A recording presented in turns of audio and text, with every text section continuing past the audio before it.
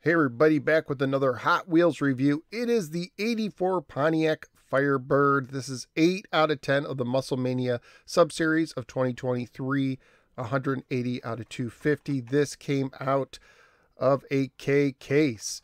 So let's go ahead and open this up. I am a sucker for some of these 80s sports cars, and the artwork is well above the bubble, so I should be fine just opening it up.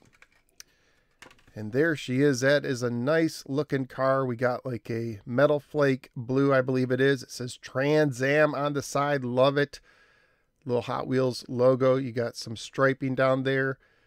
Kind of a smoke color tinted glass. The side windows here, the door windows are wide open. You can put a little dude or dudette in there if you wanted.